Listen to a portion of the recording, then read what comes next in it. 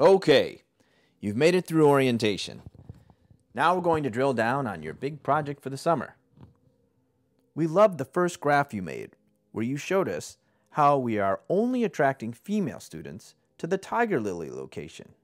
And in fact, you showed us that if you just look at the group of women who've attended classes at Tiger Lily, they outnumber the men in any other location except Owl Alley.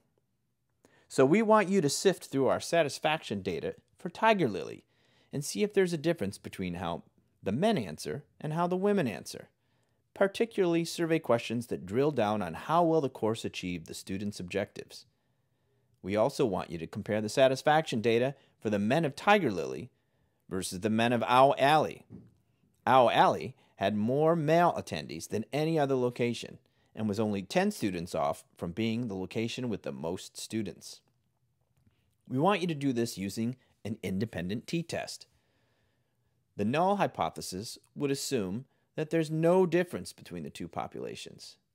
The alternate hypothesis will be that there is some difference, but we're not sure whether it's positive or negative or what's driving it. That will be the objective of the second phase of your project, where you develop follow up surveys for former students. Now we're going to walk you through the different aspects of the t test. The first test you're going to run is to see that the both male group of data and female group of data that you're going to compare against each other are normal. And the way you do that is once you load your data set, you go to Analyze, Descriptive Statistics, and Explore. And then you'll see that there's a pick list for dependent list and a pick list for factors list.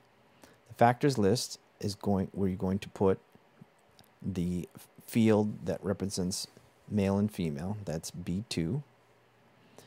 And the dependent list is where you're going to put your questions. We're going to start with question uh, 6.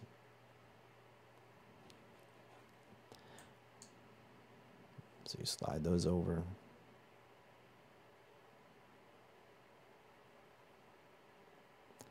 Then you hit statistics. Make sure that the confidence interval is 95%. Then you hit plot. Deselect stem and leaf, hit histogram, click normality, and then hit OK. And as you can see, first of all, for test of normality, they're not normal curves. It's significant, 0.0. You can also see that by looking at the histograms, that they're not normal curves. And if you look at the normal Q by Q plot, you can see that there's some deviation from the line, particularly on the ones and twos. Also, if you look at the box plots, you can see data again in the ones and twos that are outside of normality.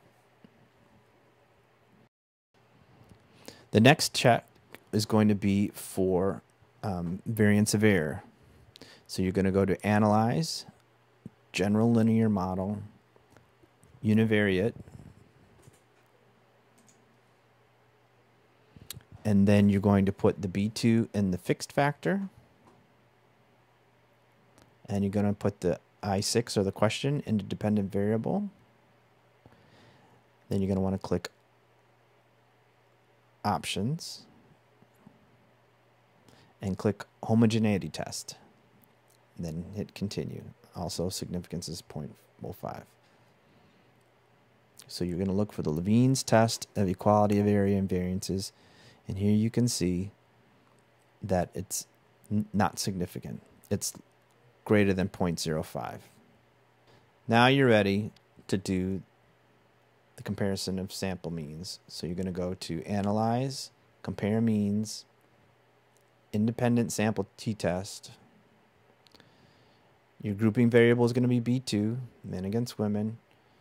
Your question is going to be I6, test variable. Click on grouping variable, click define groups. Group 1 is 1 for men, group 2 is 2 for women. Hit continue. Options.